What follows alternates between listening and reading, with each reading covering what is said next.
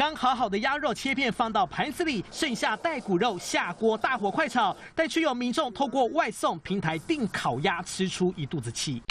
民众脸书 po 文，小孩生日买了半只烤鸭庆祝一下，但外送到府一打开，发现烤鸭竟然只有十一片，数量太少。说这只鸭生前没有吃饱饭吗？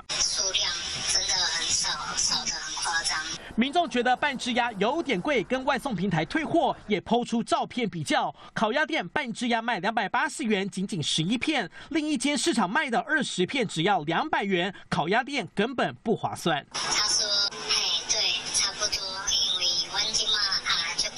实际来到烤鸭店门口，放了一整排刚烤好出炉的整只鸭，陆续有民众上门，生意还不错。民众叫外送，认为半只鸭量太少，现场买有差别吗？我是来这一边买，其实是没有这个问题。夏天它就是啊，的较细，伊就食，伊就食袂落呀，伊就较袂大只啊。啊，你啊冬天啊，就是较大只。业者澄清，夏天的鸭天气热，食量差，本来就比较小只，当天也退款。当事民众回应，下次不会再消费。业者也表示，最近遇到其他民众反映鸭比较小，但因为来店里购买可以当场沟通，透过外送平台，民众打开一看不满意，难免火气比较大。记者杨树、王书红高雄报道。